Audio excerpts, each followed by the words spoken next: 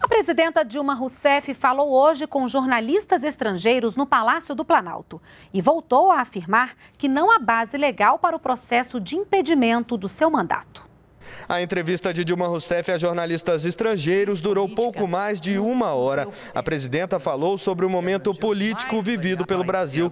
Segundo Dilma, após a eleição de 2014, começou um processo de contestação e desestabilização em relação ao seu mandato, que passou pelo pedido de recontagem de votos e as chamadas pautas bomba no Congresso, medidas que dificultaram o reequilíbrio fiscal no país.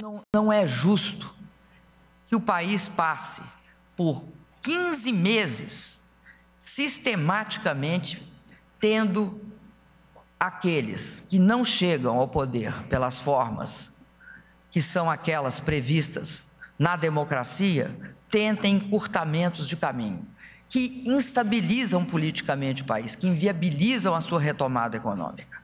Eu acredito que é necessário no Brasil uma grande uma grande pactuação democrática. Ela passa primeiro pelo respeito aos processos democráticos pela rejeição desse processo de golpe. O pedido de impedimento foi baseado em dois pontos: a edição de decretos de créditos suplementares e o atraso em repasses da União a bancos públicos em 2015. Segundo a presidenta, essas são questões contábeis que não dizem respeito ao mau uso do dinheiro público. Dilma explicou que os decretos suplementares não criaram despesas adicionais ao governo e lembrou que a partir do momento em que o Tribunal de Contas da União decidiu limitar o prazo para as transferências aos bancos públicos, o governo federal adotou medidas e regularizou a situação. Dilma destacou que não existe nenhum processo ou investigação contra ela e reafirmou que não há crime de responsabilidade e, portanto, não há base legal para o que classifica de golpe. Eu me sinto injustiçado e acho, e acho grave é o fato de que tentam sempre diminuir este fato, esta exigência, que é a exigência da base legal para tornar e propor e, e, e buscar o impedimento de um presidente da República. Aí eu pergunto para vocês, por que que isso não seria um golpe?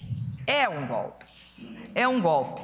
É um golpe porque ele está revestido de um pecado original, que é não tem base legal para o meu impeachment. A presidenta afirmou ainda que esse processo não vai ajudar a trazer a estabilidade política ao país e que a repactuação democrática é necessária para a retomada do crescimento e das conquistas sociais. Nós, quero dizer a vocês que fizemos um ajuste muito forte. Nós cortamos quase 130 bilhões de reais no ano passado.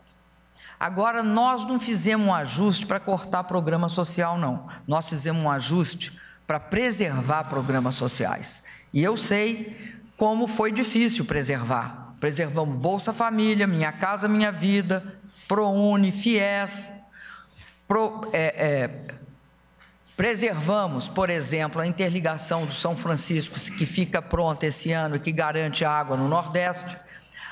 Agora, é preciso decisão política para fazer isso. Eu não posso querer atender a, a só um lado do país. E eu acredito que os que estão golpeando atendem só um lado do país. E estão vendendo terreno na lua.